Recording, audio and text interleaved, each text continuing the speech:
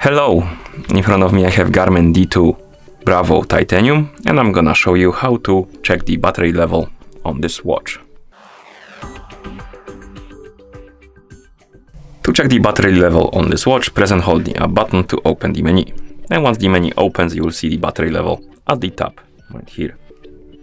And once you're done, you can press the back button to go back to watch face.